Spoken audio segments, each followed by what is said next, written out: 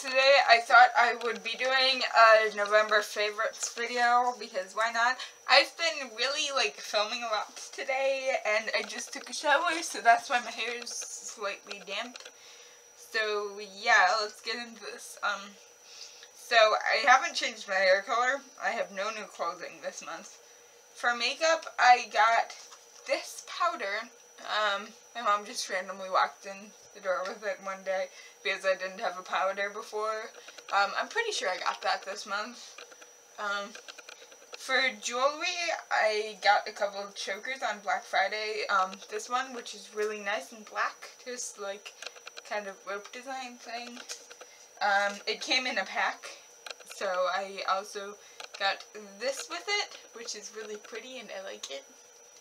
Um, and then it came with like just standard choker. I don't know if you can see that, but I haven't even taken it off yet for the thingy that it came on. So yeah, um, that's pretty much what I got for that. Um, for things that I've read, I've been reading Something with School, which is Maggie, a girl of the streets. So that's for school, and then I've also read Our Life, a Cube SMP fanfiction, which is really actually good for fanfiction. I've read a lot of fanfiction, so yeah, um, for music, I've been listening to a lot of Front Porch Step and Mayday Parade lately, so those are both really good bands.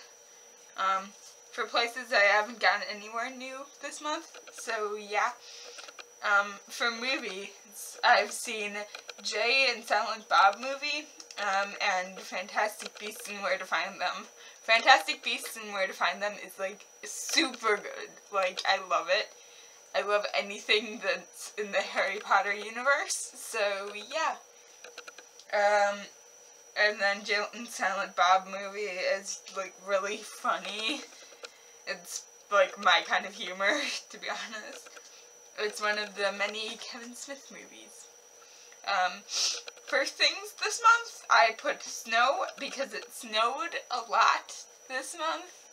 Um, and my film camera, or I just got the battery for the film camera, so started taking pictures.